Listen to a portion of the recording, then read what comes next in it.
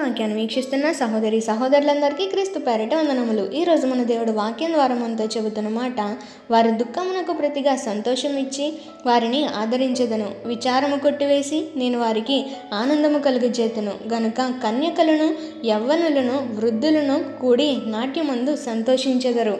ఇర్మియా గ్రంథము ముప్పై ఒకటో అధ్యాయము పదమూడవ వచనం. మనిషి జీవితం అంటేనే సమస్యల గని ప్రతిరోజు ఏదో ఒక సమస్య మనం వద్దు అన్న మనల్ని వెంటాడుతూ ఉంటుంది. సమస్య ఉంటే ఆటోమేటిక్గా దుఃఖం వస్తుంది.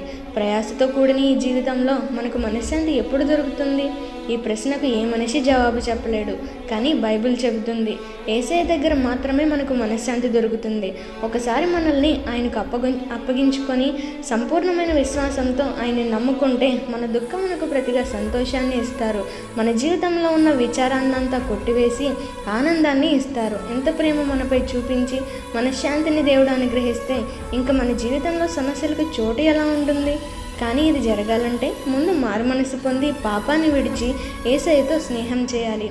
మరి మన ఏసై ప్రేమను పొందుకోవడానికి రెడీగా ఉన్నారా? మీ హృదయాలోచనలను దేవుడు సఫలపరచాలని మనసారా కోరుకుంటూ ఈ చిన్ని స్వార్థ పరిచర్యలో మీ సహోదరి. God bless you. ఆమెన్.